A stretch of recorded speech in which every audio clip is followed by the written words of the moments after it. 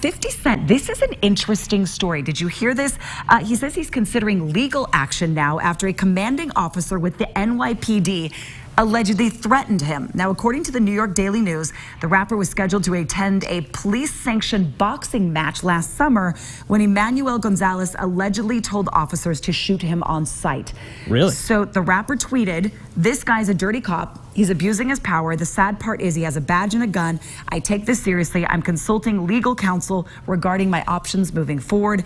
A representative for the NYPD police union says the allegations are completely false. He feels like he has a case. We will see what happens next. Well, it's tough to believe that a police sergeant or anyone in police leadership would say, shoot this person on sight. Well, and this was last summer, and Yeah. now we're hearing about it and legal Mm-hmm. action being considered now that it's February. So I don't know what triggered it all these months later, but that case is still being investigated. I mean, how many times have you heard like a DA's office here, even here in Utah, where they look at all the video of any police shooting and they have to justify was that shooting Right. justified? I mean, it's hard to believe that that would actually happen.